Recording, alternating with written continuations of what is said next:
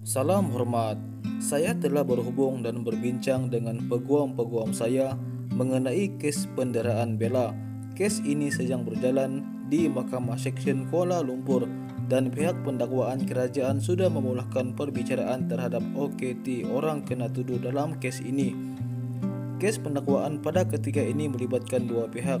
Pertama, pendakwa raya kerajaan bagi pihak kerajaan ataupun awam dan kedua, peguam bela yang dilantik untuk mewakili tertuduh AKT.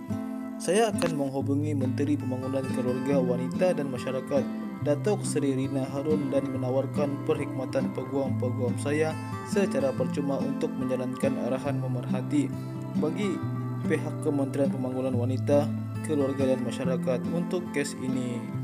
Yang benar, Meja Jeneral Tunku Ismail Sultan Ibrahim, Tunku Mahkota Johor.